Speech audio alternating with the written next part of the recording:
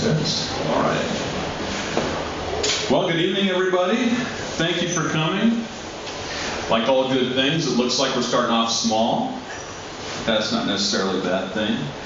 Um, let me just give you a brief uh, introduction to uh, Alan Mills. Alan Mills is a lawyer with the Uptown People's Law Center. He's been a veteran attorney that's been involved in prison-related issues for years. He handles both cases for individual prisoners and cases that have to do with what are known as class action lawsuits, where, uh, well, he'll tell you more about that.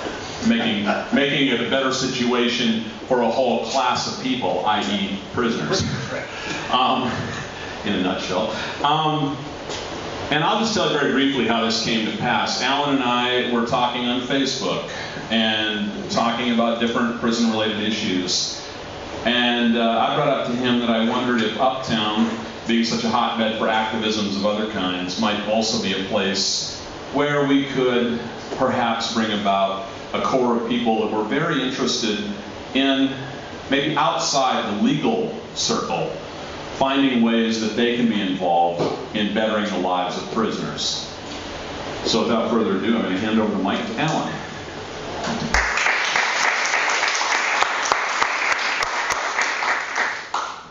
And the mic is really intimidating, so bear with me. Um, so I work at the Uptown People's Law Center. For those of you who don't know, we're around the corner at Sheridan and Montrose. Um, we do we do do prisoner rights litigation, but we are really a community-based law center.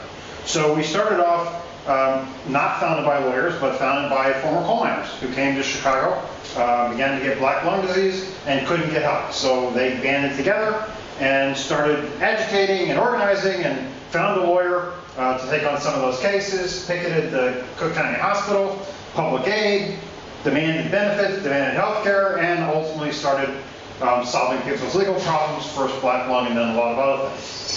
So we're very much out of this neighborhood, and we were started back in about 1975-ish. Um, and it really started when they found a volunteer lawyer to come in and sit in somebody's living room uh, once a week to talk to whoever came through the living room. Uh, we hired, we rented an office over on Wilson Avenue, and when I say we, it's before I was here. Um, Wilson and Magnolia, and we were there for several years. Uh, we had part-time attorneys for about 15 years. By 1990, um, I came up there in 1991, and I've been there since as the full-time lawyer. We do mostly landlord-tenant work. Uh, we do a lot of Social Security disability for people in the neighborhood who are disabled and trying to get their benefits from the government and being denied. But we quickly discovered, not surprising, that poor people also are the ones who end up in prison. So we began to get letters and telephone calls from people from the community who went to prison and they had problems inside prison. Maybe they got beat up by a guard. Maybe their mail was being censored. Maybe they weren't allowed to practice their religion. Whatever it was. We began to get letters first from people who came from Uptown. We represented them in their evictions or their moms in their evictions. And so we started taking some of those cases on. And it grew because nobody else is doing this work in the state of Illinois. The Uptown's Law Center is the main people who actually litigate on behalf of prisoners.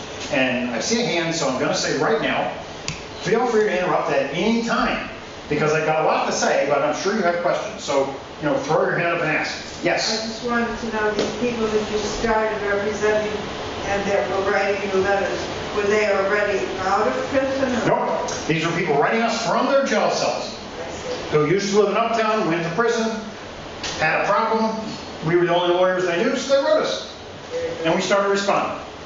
Um, we ended up taking on a big class action case um, way back in 1982, uh, claiming that prisoners who were in segregation, including Joe Gansey, who grew up in Uptown or a little north of Uptown, um, weren't allowed to go to the law library, couldn't get any access to the courts, so they couldn't bring any claims they had whatsoever. We litigated that from 1982 for 18 years, won three or four different times in the trial court, and ultimately our wonderful Supreme Court um, changed the rules and said that neither of our clients had ever had the right to bring this case in the first place. Throughout our entire 18 years of work, said all of it was for nothing and threw the case out. For some reason, that sounded, did not turn me off to prison litigation, but instead got me really involved. Um, So sometimes from failures comes big things. So the Law Center grew. Uh, Not the people, we're still really small. There's only four of us there. Um, But the number of letters we got. The good thing about doing access to the courts case is that you are in contact with all the jailhouse lawyers in the state. So we started getting letters. We currently get 125 letters a week from prisoners throughout the state of Illinois.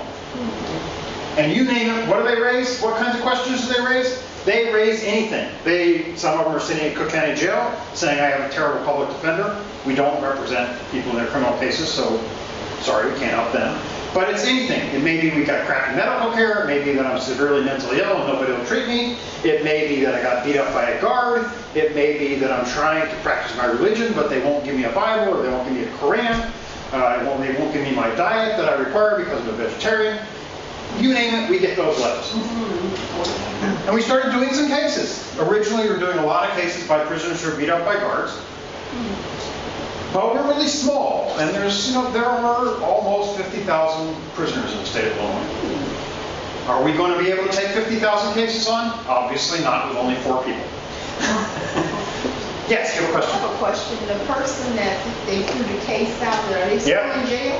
Um, Well, one, of the- it was actually ended up being on behalf of two people, one from the old Robert Taylor Homes, one from Uptown. The one from Uptown tragically died, uh, liver cancer, before he could get out. The other one is still in prison, yes. He went in at the age of 16 in, I think, 1975, and he's still there. Are you funded by the federal? No, we're not funded by anybody. Um, We get some foundation grants if we win some cases, sometimes the other side has to pay us, and we beg for money. So that's how we get our money. We're not funded by the state. If you take federal money, actually, if you take federal money, you can't represent prisoners. That's part of the reason that nobody else does this in the state. Um, So, we're sort of the only ones that do this work on any kind of big scale. Did you say you don't take criminal cases? We do not take criminal cases, right? We only deal with people who are guilty and they're stuck in prison, and we don't try to get them out, we just try to make sure the Constitution is followed while they're in prison. What do you mean you don't take criminal cases? You mean you wouldn't take anyone that, that murdered someone or had a big house? Well, we won't try to get them off. We'll, we'll take murderers. We represent a whole lot of murderers. It's just, once you go to prison, we don't really care why you're there. Doesn't matter why you went to prison, you still have constitutional rights, they still have to be honored. So we represent everybody from somebody who's in for possession of marijuana to somebody who murdered several people. And I've got both, I've got clients who did both. And you don't get them out of prison, you don't even... Nope, we don't even try. That's not our game. Ours is all about how they treat you inside prison. If they get out, fantastic, but that's not what we're for. So, the Illinois prison system is horrible. So what I want to do tonight is talk a little about the Illinois prison system, some nationally, but mostly Illinois, how we got there, what it means to be in prison right now, and at the end, I'm going to talk a little about what people can do about it who aren't lawyers and can't bring class action cases. So, I'm going to start with a story. Tamms Correctional Center uh, is a supermax prison. Supermax prisons we'll talk more about, but for right now, you just have to know you're locked in your cell 24 hours a day. Danny Johnson went in um, as an 18-year-old, uh, committed a murder. When he was very young, he tried to escape. You can see he's got green stripes on his shoulders. That's because he's a high escape risk. He'll never get out, probably of segregation. He's got a life sentence. So he's probably going to sit by himself in a cell for the rest of his life. After 10 years at Tamms, on April 21st, 2012, he wrote us a letter saying his mother had just died, saying, thank you very much for letting me know about my mother, because of course the prison system doesn't bother to tell you anything. And this is one of the hardest letters we've ever got. This will be my last letter to you. I'm going to kill myself. Hmm. He had been practicing for a week, took a plastic bag, tied it over his head, saw how long he could last, wrote out a note to the guard saying, don't resuscitate me. And that night, went to sleep with a bag over his head, fully expecting never to wake up. He did. Um, they did revive him. He went into a coma, spent two days, I think, in a, in a, in a coma, um, but eventually came out and is currently in Pontiac, still alive, but also still in segregation. interestingly, You as soon never as... tell someone that you're gonna kill yourself. If you're serious about it, you can. Well, that's right, and he, he very carefully timed his letter so that we wouldn't get it until after he was dead. Oh, Because he knew that if he wrote us beforehand, we would be on the phone down there to the warden saying he's gonna kill himself, stop it. oh. So he didn't send it until that night, knowing we wouldn't get it until he was after he was dead. So, That's the prison. so they found him, I mean, you know, somebody did their job, checked, and saw he was unresponsive and got him alive again. Are the prisoners in Illinois, I know down south, they'll throw you in jail and throw away the key. Are they just as bad up here? Uh, yes, and let, we'll talk a minute. Hang on, and we'll get to some sentencing stuff. Okay. Um, ironically, even though he just tried to kill himself, once they put him into his cell in Pontiac, they gave him all his property in a huge big plastic bag.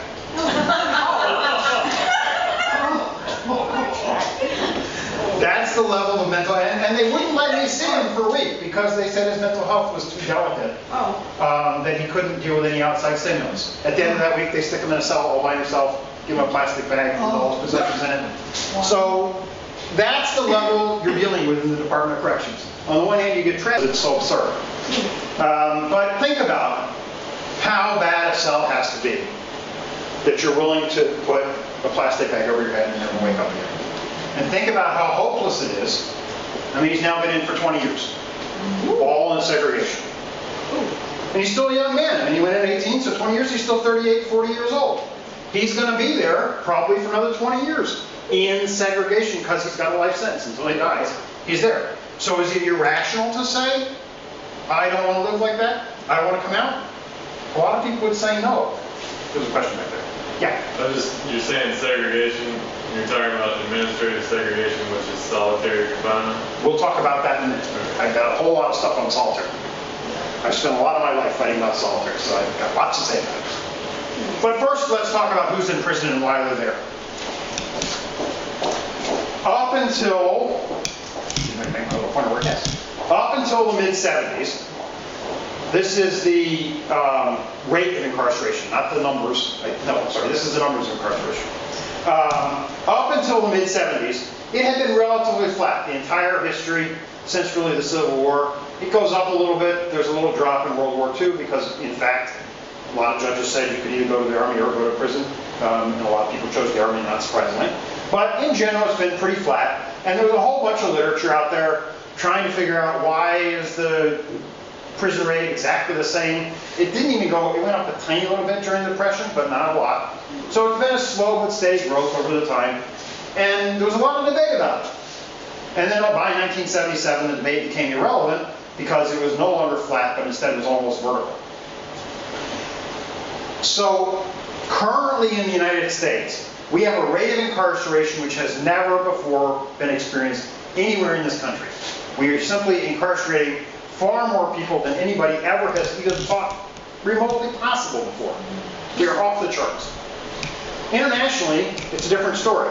This is Western Europe, those countries we like to compare ourselves to, the other so-called civilized first world countries. And in Europe, there's lots of debate. Why is there such variation? Denmark and the United Kingdom, it's almost, United Kingdom is twice the incarceration rate of Denmark. Why should Great Britain have such a high incarceration rate? Lots of studies back and forth. None of them mention the United States. Why not? Because when you put the United States in there, wow. there's no difference at all in Europe. So not only are we off the charts for anything we've ever done historically, we're off the charts for the Western world, and in fact, we now have the highest number of people in prison of any country in the world, as well as the highest rate of incarceration of any country in the world. South Africa for a while was, was competition with us back when they had apartheid. Uh, Russia was competition with us for a while when they had the Gulag system actually running. Um, but we are far and away number one now.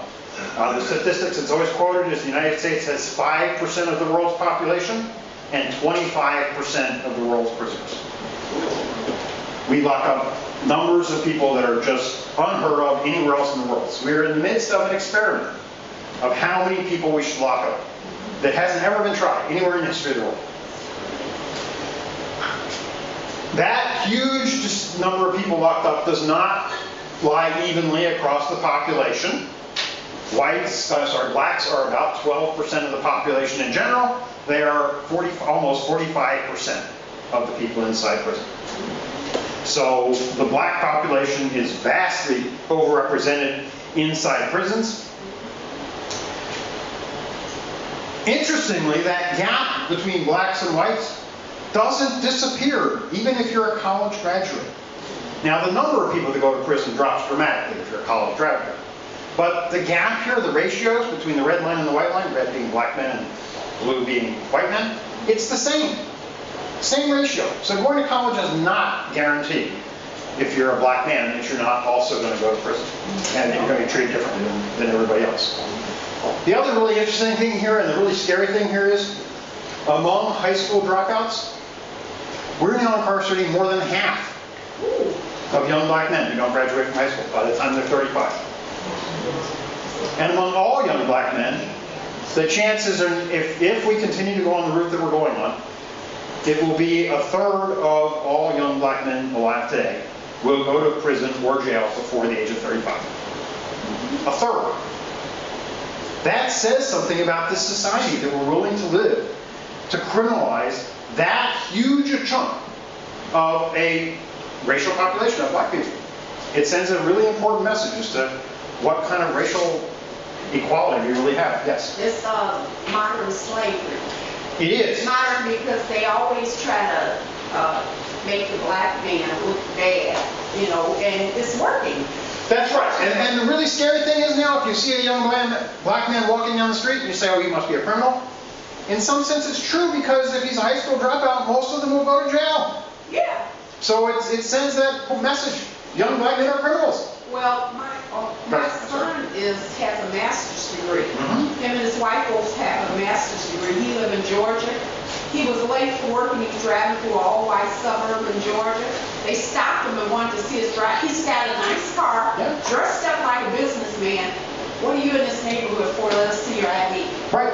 Criminalization of young black men. Slavery. You got and actually using that word is interesting. The 13th Amendment abol- abolished slavery. What most people don't know is there's a second phrase there, except in the case of those people who are convicted of a crime. So it's exactly modern slavery. The 13th Amendment exempted prisoners, so we can still have, we still have slaves as prisoners. Yes. I think it was Michelle Alexander that gave the statistic that there's currently more African American uh, men in prison than there ever were in slavery. Yes. Yeah. Yes, absolutely. Um, and anybody's interested in this racial question, Michelle Alexander's book, The New Jim Crow, is a must-read. It's 300 pages of all those kinds of facts. I've got it down to three slides, but if, you, if you're interested in it, that's where you look. I wasn't going to read you 300 pages, but every page on there has fascinating information. All right, so who's in prison? It's not murderers and rapists. I don't think I have the slide, but yeah. Uh, murder and rape has stayed pretty even. It's way down here. It's going up a little bit, but murder and rape are way down here. So prisons are not full of rapists and murderers. There hasn't been a big upsurge in, in murderers and rapists. Uh, in Chicago, while it makes a lot of press, the murder rate today is lower than it was 20 years ago, lower than it was 30 years ago. What's happened in Chicago is it's become very concentrated. In two or three neighborhoods in Chicago, it's skyrocketed. But in, Uptown, by the way, despite what you may read on, on certain websites, um, is not one of those neighborhoods that's impacted by huge numbers of workers. Who's in prison are drugs, drug users. Drug users are the ones in prison. We saw the vast increase from 1970 on in the total prison population. This is the huge increase, exactly mirroring it in drug arrests. So we've had millions and millions of people who have been arrested for use of drugs. And those people in prison are not the big kingpins. Say, well, there's so many more blacks in prison because they commit all the crimes. Not true. Not true. If you look at who uses drugs in America, that's the blue lines. Whites use about 72% of drugs, Hispanics about 10% of drugs, blacks maybe 12% of drugs, and everybody else accounts for 2 or 3%. All the surveys show that, no, that all drugs, including, by the way, crack, which you would never know watching TV, are used equally through all racial categories. White people use more crack than black people. White people use more cocaine than black people. White people use more of any drug you can think of than black people. Then you start looking at who's in prison for drugs, and that's the red lines. and it's exactly reversed. 55% of the people in prison are black, and about 22% Hispanic and about 18% white. So it's exactly reversed. It has nothing to do with who commits crimes. It has to do with who we choose to enforce the criminal laws against. We choose to enforce them against black people, and therefore black people are the ones that end up in prison. It's really simple. So when people tell you blacks commit more crimes, it's a lie. Illinois has had very much the same. This is the chart of Illinois' prison population.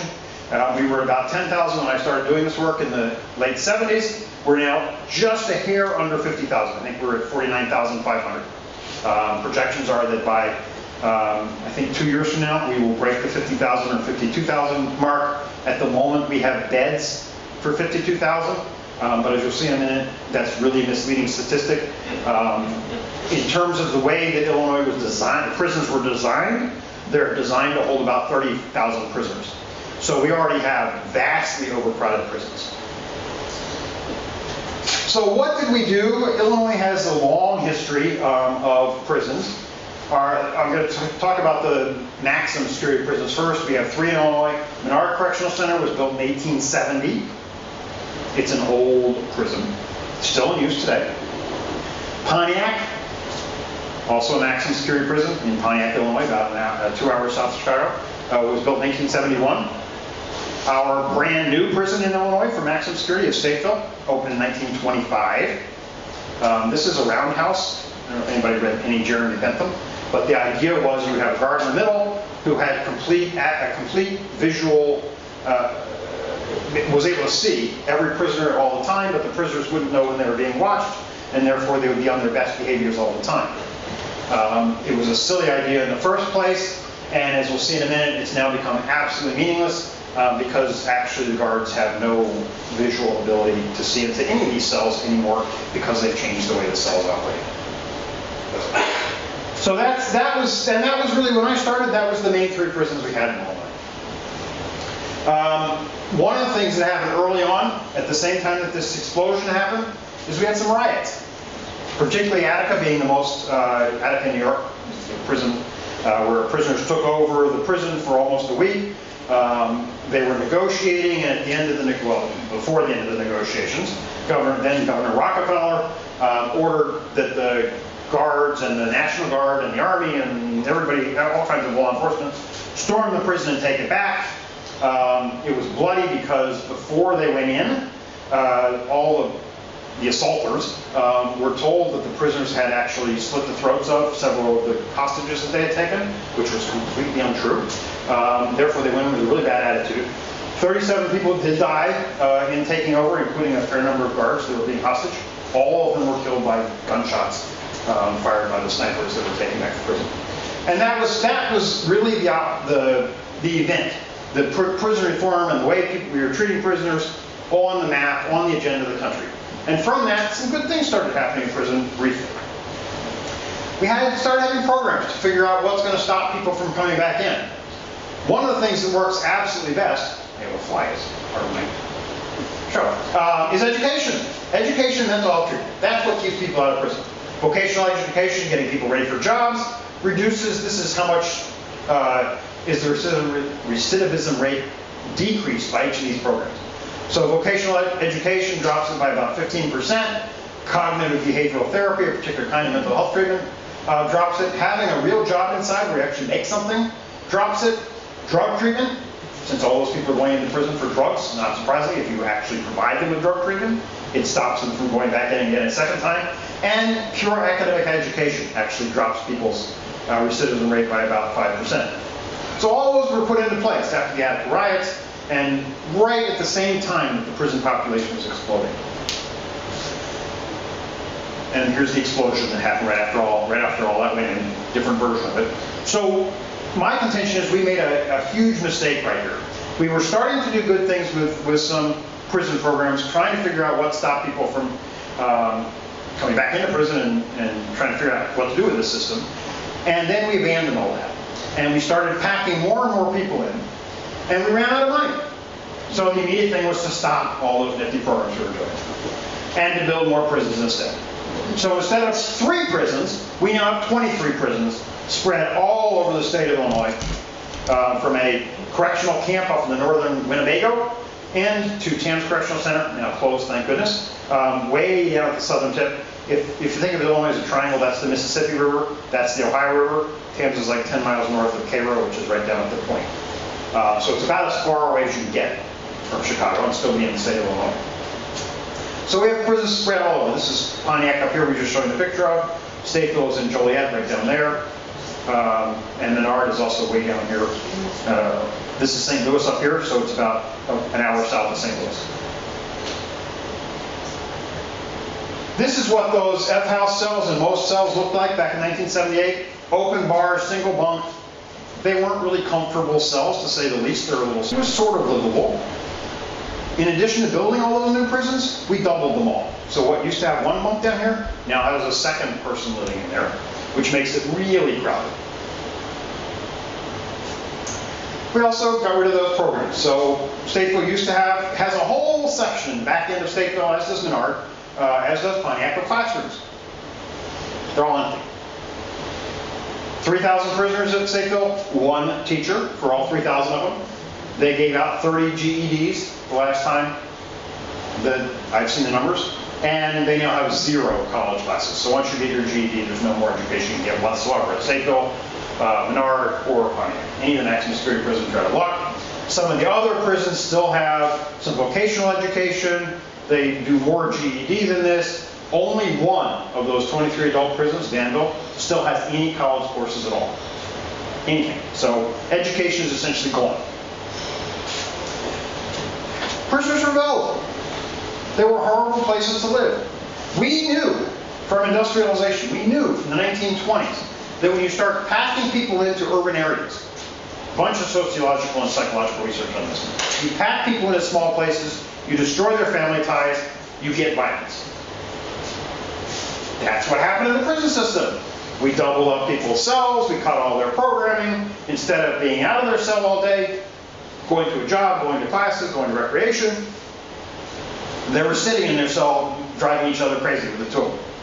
So people started rebelling. This is a picture of a food strike where everybody threw their food out onto the, the galleries.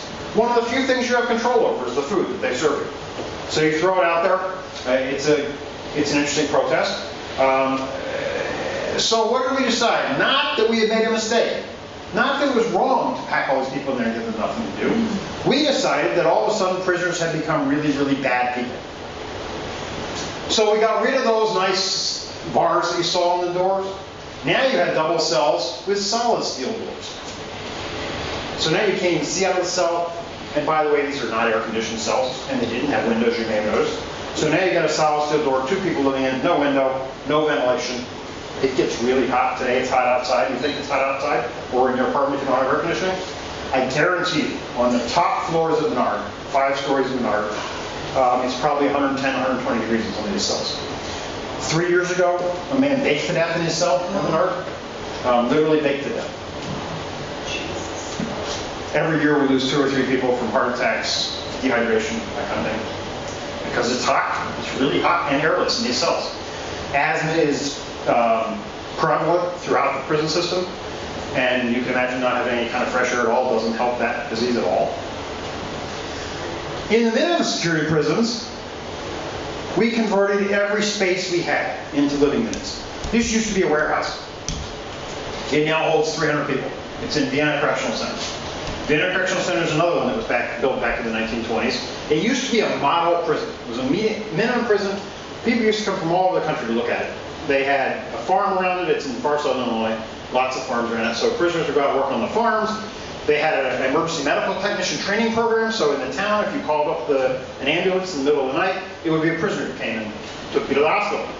Um, it was in town used to have baseball teams that came in and played the prisoners. Worked great. All that's gone. Um, it's packed full of people. They converted this warehouse into a dormitory. There are now 300 people living in a big open space like this. Um, but they have a problem because think of your typical office. It has a men's room and a women's room. Maybe two urinals, maybe a urinal and a stall. Um, and that's what's serving these 300 people. There wasn't a shower there. There's just two, four stalls for 300 guys. It's a mess. Upstairs, they converted another space. There are seven showers upstairs that they have to share with these 300 guys. There's another 300 guys living upstairs. So it's a mess. The department is so broke, they couldn't fix the windows in this old warehouse. Summertime, birds would fly through. Oh. Birds are not house trained. Then it started getting cold. And, you know, open windows are okay in summertime, but in the February, it gets cold. So the department still didn't have any money to fix the windows, so they simply put boards over the outside of the windows. So for a year, they went through in the summertime with open windows that everybody could, all the bugs and birds could fly through. In the wintertime, no ventilation at all because they simply had no light at all, no natural light. They put in these nifty fluorescent lights. And 300 guys living like that. That's one of our class action cases saying that the Vienna Correctional Center is now so badly run um, that it violates all standards of decency and it can't be that way. I think we're going to settle that case and they're going to get these guys bathrooms and showers and um, recreation and the things they need in order to actually live there. The other thing we did is start building the Supermax prisons. I mentioned the Supermax before briefly, uh, but we really went to town. Illinois built one. Um, This is located in Tamms, Illinois. Uh, You can't quite read the sign on this picture, sorry. It says Tamms, home of the first Supermax prison, and underneath it says, "A nice place to live." Which I'm guessing was meant to refer to the town, but it doesn't say that. It says the Supermax is a nice place to live. Uh, After the Tribune published this, they began to get a lot of really weird letters saying, no, it's not a nice place to live, and they took the sign down, but it was there for like three years. We got a picture. Um, and, and 38 states built Supermax prisons. Supermax prisons are designed from the ground up not to have any human contact between guards, prisoners, and another prisoner. So you can sit in your cell all day long and never actually see anybody, never touch another human being. You can be in a Supermax prison for 10 years and never have skin-to-skin contact with another prisoner, another, another human being, ever. When guards move you, they were supposed to put on big leather gloves. There have to be two or three guards physically keeping hold of you all the time. When you go to doctor's appointments, the guards have to stay there and keep their hands on you as the doctor is examining you. Uh, no jobs, no religious services, none of that. You're in your cell.